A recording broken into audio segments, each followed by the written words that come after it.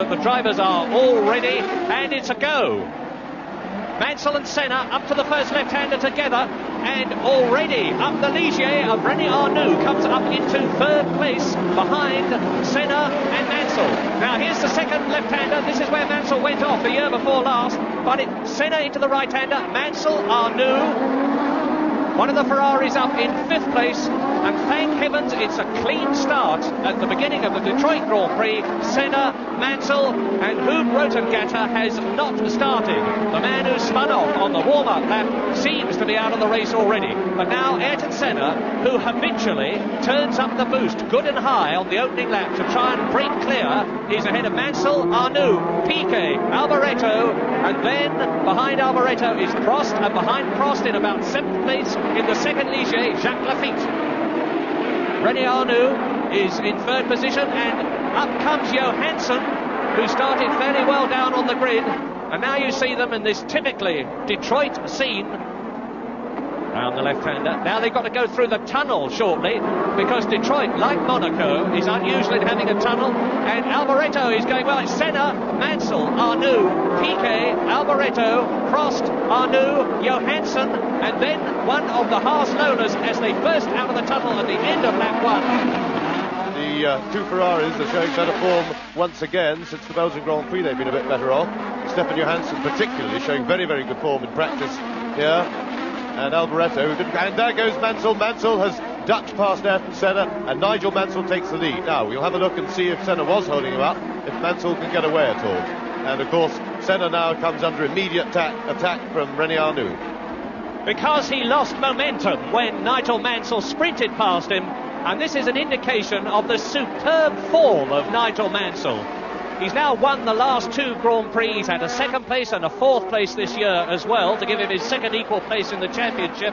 And Nigel Mansell is starting to build a cushion, and one of the Brabhams exits the pits.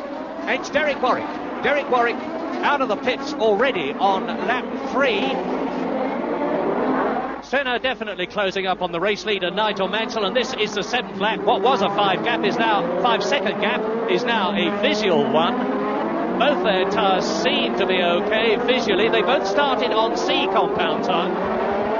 No, Mansell's right rear looks, looks uh, pretty unhappy. Senna's tyres look all right. Now, Senna may have been taking it easy to look after his tyres because in a race where tyre wear and tyre performance is critical such as this and marginal, then of course the car is at its worst and Senna having a look now and putting Mansell under real, real pressure. And he's pulled away a bit from Arnoux as well.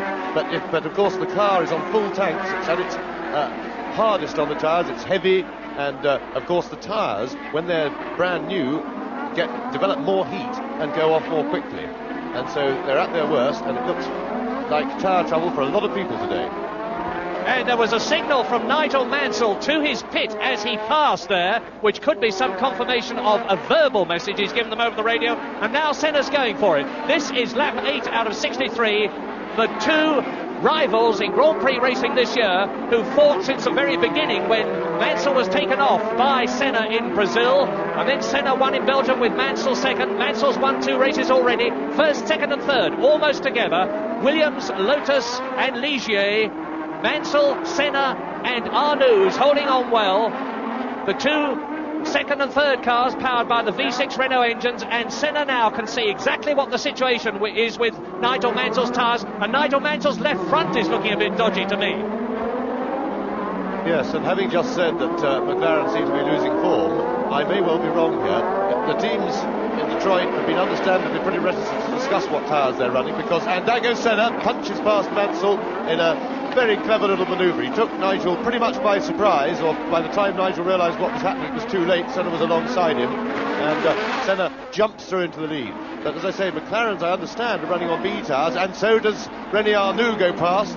René Arnoux round the outside, so Nigel Mansell is definitely in trouble, and uh, the McLaren team, I understand, are running B compound tyres, which are a little bit harder than the C tyres, a little bit more durable, but most of the teams